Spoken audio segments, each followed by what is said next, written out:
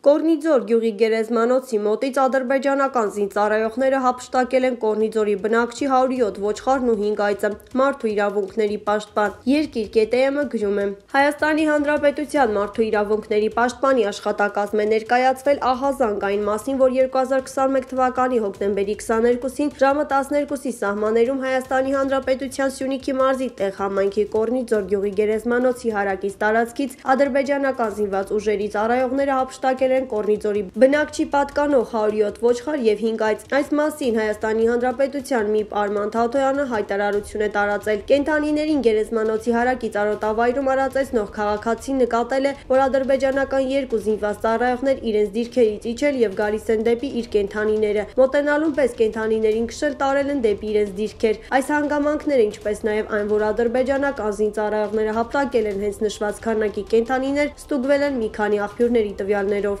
Կորնիձորի բնակիչը ժամը 12-ի 15-ի սահմաններում դեպքի մասին տեղեկացրել է համայնքային մարմիններին։ Ըստ Մարդու իրավունքների պաշտպանի աշխատակազմի տեղեկությունների դեպքից գրեթե անմիջապես հետո ժամանել ու տեղում ուսումնասիրություններ են իրականացնել Հայաստանի Հանրապետության եւ ՌԴ սահմանապատ ծառայողները ու ներկայում ձեռնարկում են համապատասխան քայլեր։ Մարդու իրավունքների պաշտպանի աշխատակազմը վերցանել է ահազանգի հանգամանքները, որոնք այն մասին են, թե որ ՀՀ քաղաքացու սեփականության հապշտակությունը տեղի ունեցել ՀՀ տարածքից։ Այդ հանգամանքները փոխակերպված են սույն հայտարարության կից հրապարակող քարտեզի հատվածի վրա։ ՀՀ քաղաքացու նկատմամբ ադրբեջանական զինծառայողների այս հանցագործության ահազանգը պետք է դրվի Ադրբեջանի նկատմամբ մեր պետության պահանջների հիմքում միջազգային հարթակներում։ Այն կդրվի նաև ՀՀ մարդու իրավունքների պաշտպանի զեկույցների ու պահանջների հիմքում։ Մարդկանց պատճառվող առանձնապես խոշոր չափերի հասնող վնասների հատուցումը կլինի ՀՀ սահմանային բնակիչների իրավունքների ապահովման կարևոր երաշխիք։ Ադրբեջանական զինծառայողների այս անցավոր արարքները խախտում են ՀՀ քաղաքացիական բնակիչների կյանքի,